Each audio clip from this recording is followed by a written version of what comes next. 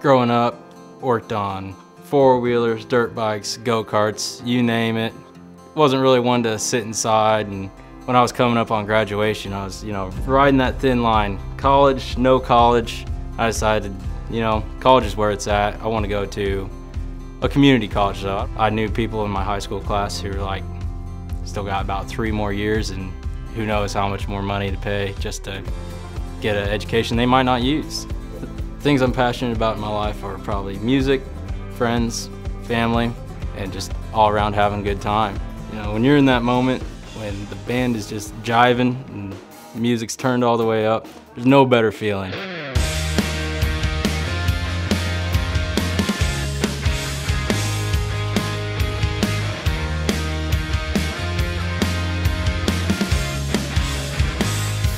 I love the training. They'll take you up to Omaha, give you a hotel, a little bit of money if you're far enough away. This is even better than going to college.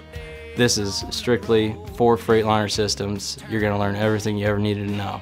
Because of truck centers and just being at a good job where I'm getting a steady income, you know, good day's work, that provides me with the opportunity to just come down here, hang out with my friends and make some good music.